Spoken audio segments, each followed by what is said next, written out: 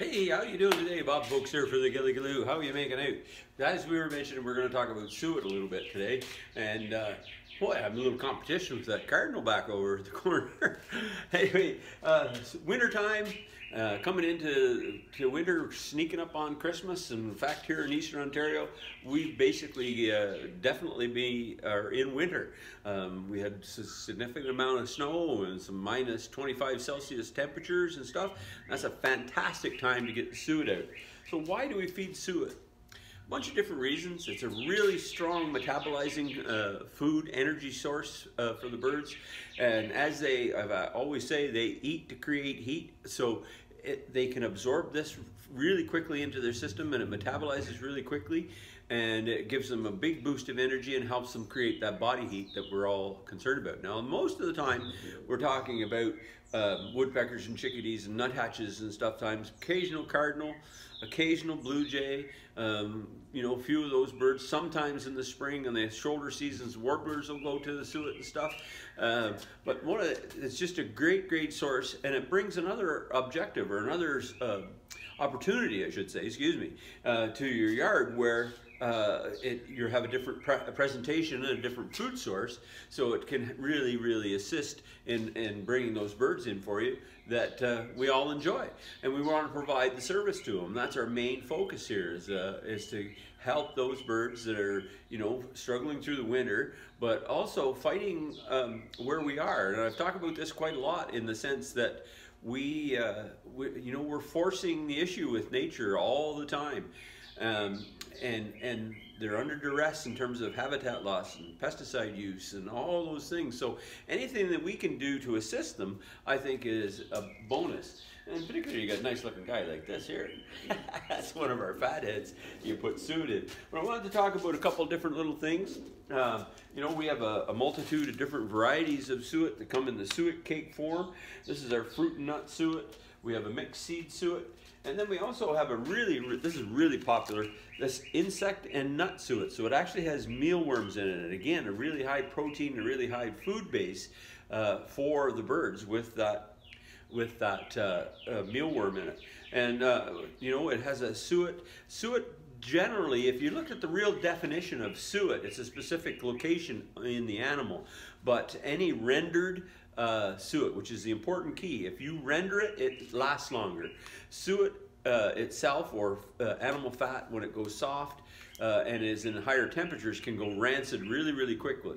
So we got to be very careful what we give to them. So um, a lot of people make their own, which is fine. Um, a lot of people put peanut butter in it, which is fine. But again, we got to be very careful. It's not above uh, freezing because it becomes very high, hard for them to digest and, and deal with in that soft form. So we want to be careful. So lots of different varieties. This is a very high quality suet, uh, very functional, very high in food value, very, very safe because of the way it's uh, done. Peanuts and stuff are also something that is very, very toxic if not handled properly.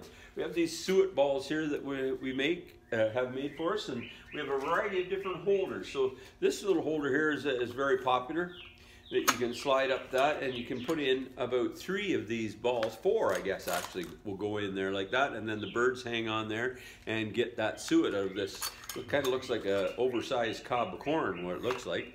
Um, we also have the traditional traditional single cages, uh, double cages, and this big guy, it holds about four cakes in there uh, in this big guy.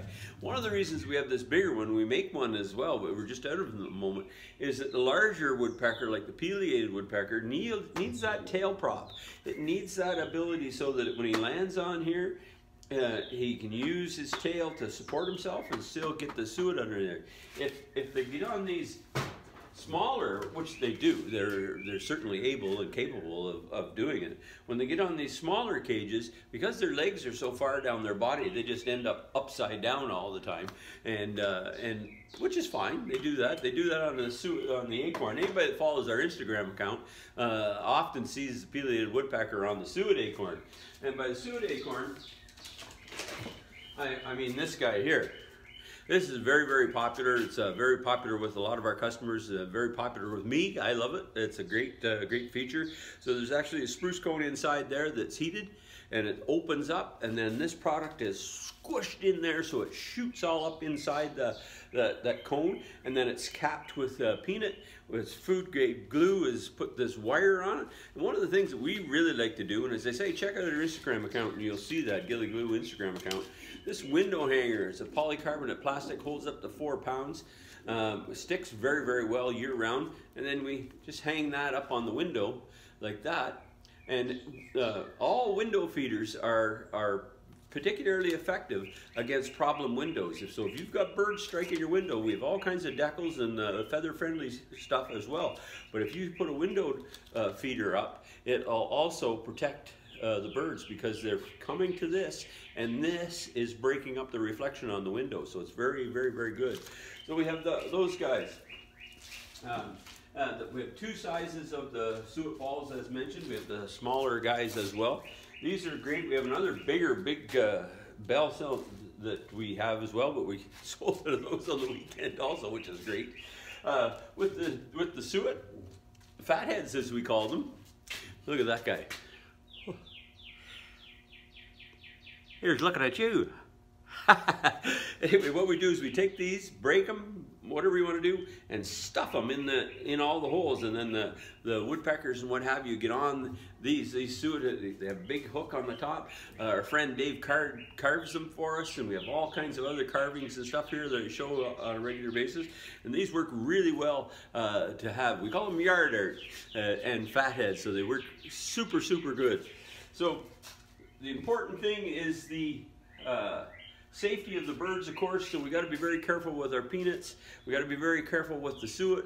We have to be very careful with the amount of peanut butter that we use um, because it, uh, it can really hamper them as opposed to help them. So wintertime, using suet, it's a great functional piece that you can uh, really help out our, uh, our feather friends and, and if there's any questions or anything, sure, shoot some comments or send me an email or stop by the store here. Be happy to help you out anytime. And then I got to quit competing with that cardinal. He's really barking at me over here. Have yourself a great day.